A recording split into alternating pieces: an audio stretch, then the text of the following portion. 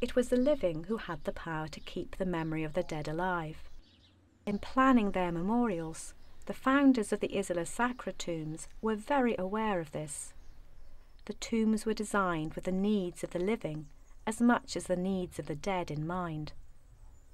The living were supposed to honour the dead, to visit the tombs of their relatives regularly, and observe certain festivals associated with the dead. The dead had to be accessible to receive simple offerings of food and wine. Simple amphora burials may have been a sign of poverty, but the necks of the vessels were convenient conduits for liquid offerings. The niche lined walls of the larger tombs allowed easy access to the remains, and epitaphs may have originally identified individual burials. The larger niches held the remains of the most important people. These were often in line with the door, drawing the eye and thus the attention of any visitor straight to them. Tomb 87 was constructed by two ex-slaves for themselves and their former owner.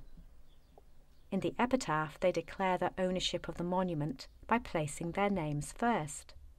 But within the tomb, the place of honour, opposite the door, was awarded to their patron.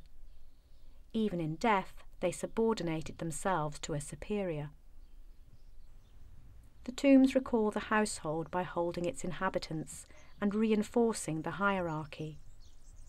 But they also suggest the actual houses of the living. Doors, windows, mosaic floors and painted walls recalled house interiors.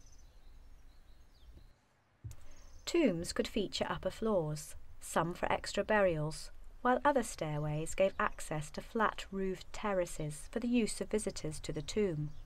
Such a stairway is adjacent to Tomb 34.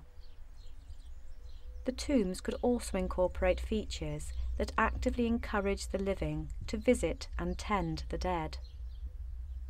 Tomb 34 also has a well for the drawing of water.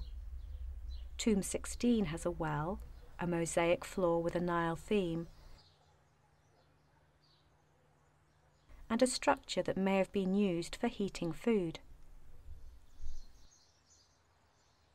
Other tombs, including Tomb 15, have benches near the doors, which may have been used as seating during feasts held at the tomb.